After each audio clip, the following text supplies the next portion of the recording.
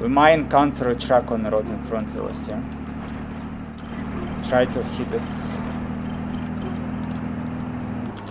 Right in front, right in front.